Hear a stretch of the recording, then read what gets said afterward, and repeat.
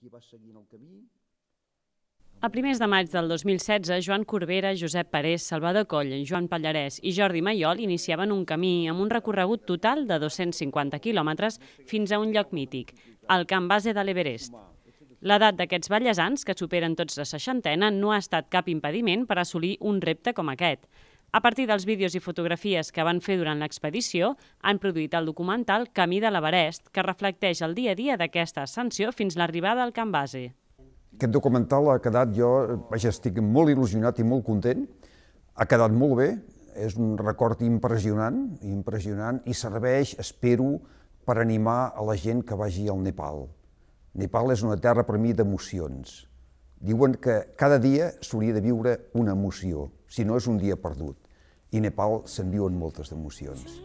Els beneficis de la projecció i de la venda del DVD aniran destinats a la reconstrucció de l'escola de Volum, afectada pel terratrèmol del maig de 2015. Un rerefons solidari que posa de manifest l'oblit d'una zona que encara no s'ha recuperat d'una catàstrofe natural d'aquestes dimensions. A la vegada, diguem-ne, que mostrem el dia a dia que fem nosaltres, també hi ha imatges de com és, de com és el Nepal, perquè el Nepal és molt canviant. A partir de 3.000 metres és molt verd, partir de 3.000 metres grans alçades i és diferent el paisatge, les grans muntanyes, i sobretot hem vist un Nepal molt afectat per al terratrèmol, tant a la capital, Kamandú, com als pobles que han anat passant, que tot, tot això es va mostrant eh, mitjançant imatges i també eh, amb entrevistes que han fet doncs, amb els afectats.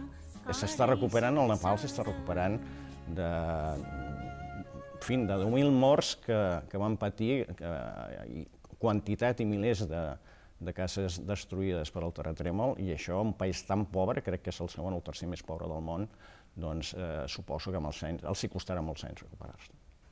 El documental s'estrenarà el proper divendres 25 de novembre a la sala Esbarjo Verdi de Cardedeu i es tornarà a projectar diumenge 27.